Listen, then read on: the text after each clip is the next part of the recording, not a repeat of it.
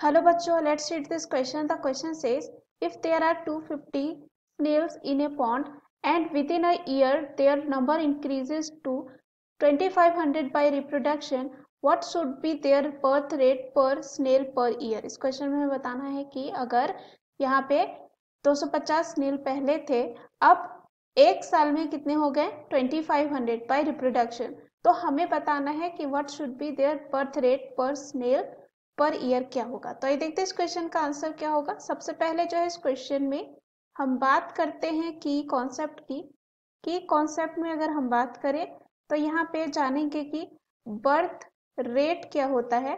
Birth rate जो होती है, इसमें इसको रेफर किया जाता है rate at which new individual new जो है इंडिविजुअल जो है एडेड होते हैं to a population through reproduction population किसके द्वारा?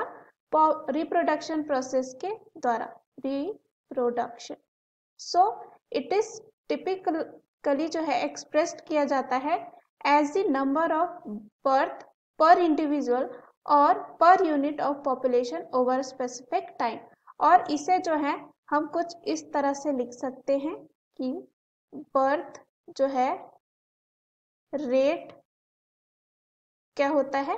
यहाँ पे फाइनल जो है इंक्रीज्ड पॉपुलेशन फाइनल इंक्रीज जो है पॉपुलेशन कितनी है? And initial divided by divided by initial population initial population into into जो है टाइम या कह सकते हैं टाइम पीरियड तो यहाँ पे हमें बर्थ रेट निकालना है। तो इसको हम कुछ इस तरह से लिख सकते हैं। फाइनल इंक्रीज पॉपुलेशन को डेल्टा एन से डिनोट कर सकते हैं।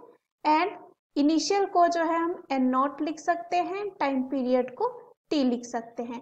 तो अगर हम यहाँ पे डेल्टा एन निकालने का अगर कोशिश करें तो डेल्टा एन जो है क्या होता है?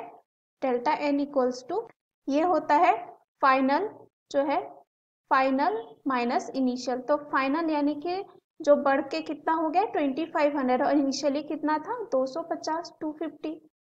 एंड ये अगर हम इसको माइनस uh, करेंगे तो ये हमारे पास कितना आ जाएगा टू टू फाइव ज़ीरो आ जाएगा। और हमारे पास एन नॉट यानी कि इनिशियल कितना दे रखा है टू फिफ्टी स्नेल्स दे रखा है।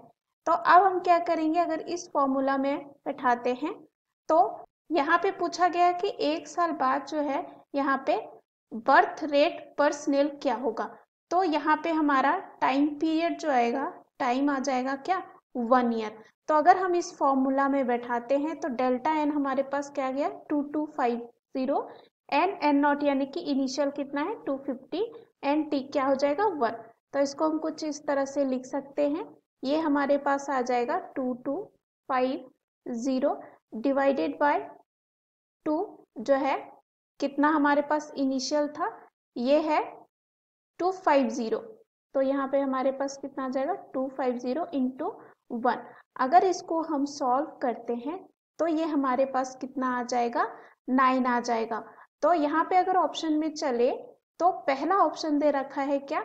टेन। ये गलत होगा क्योंकि यहाँ पे कितना आएगा? नाइन दूसरा दे रखा है नाइन ये जो है इस क्वेश्चन का आंसर होगा। तीसरा है ट्वेंटी फाइव ये गलत होगा। एंड डी भी यहाँ पे क्या होगा? गलत, क्योंकि कितना दे रखा है? Fifteen so the right answer of this question is option B hope you understood it well best of luck